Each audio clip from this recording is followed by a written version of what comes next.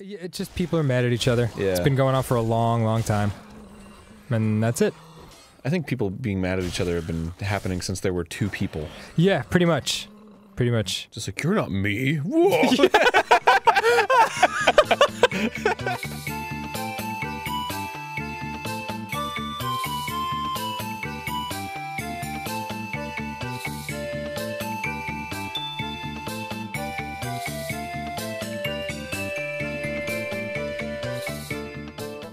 It seems another one of my Twitter memes has caught a lot of people's attention again. I don't think this will come as a surprise to a lot of you, but it seems that a lot of people don't understand what actual criticism is.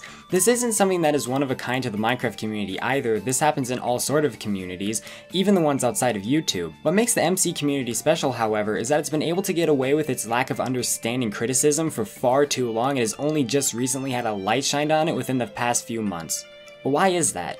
You have to keep in mind that the Minecraft community is filled with kids. Now that isn't a bad thing, nor will it ever be, but you do have to keep in mind that kids have a pretty low standards. It's not their fault necessarily, they simply haven't watched as many works as older viewers have. Now you might be wondering what kids have anything to do with the community not understanding criticism, but if you're a creator in the Minecraft community, when was the last time you've actually been criticized on your work? And no, I don't mean some random commenter telling you to jump off a pier. I mean something that could actually help your content improve without all the qualifiers and sugarcoating. As I said, there is nothing wrong with having an audience of kids. Unfortunately, the unintended side effects of having a younger audience are that you very rarely get any comments that want you to improve your work. It's mostly filled with great video, love your video, and have my babies, and all sorts of other positive jargon. Some of you may know that I made a video a few years back that touched on the fact that creators have personal bias towards their own work. And when you have loads of praise heaped upon you like you're some sort of god, it makes creators used to being pampered. The second anyone goes outside of that grain, it's almost always seen as a personal attack. It also doesn't help that we are one of the few communities that makes almost all of our content, so when people do finally get criticized, people misconstrue it as an attack on the creator than the attack on the content or the opinion. People need to realize that just because someone says that you are wrong or says that your content isn't as good as you like to believe it is, that doesn't mean that particular person wants you to delete your YouTube channel or thinks that you're the reincarnated devil. It just means they think you are wrong or can improve. Of course, this isn't the end of the conversation. See, a lot of what I said is something that a lot of people already know. Hell, it's actually something that most people believe.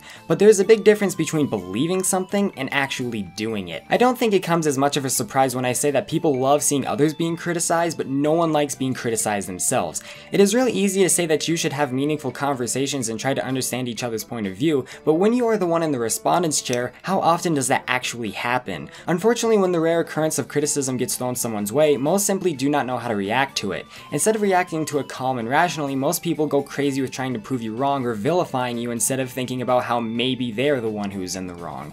And I am not saying that you can't disagree with someone, but when you get into a conversation with someone else, maybe the first thing you don't do is when you can't be right, is try to paint yourself as a better person while vilifying someone else for being intolerant of others' opinions or being too mean and a striking example of psychological projection.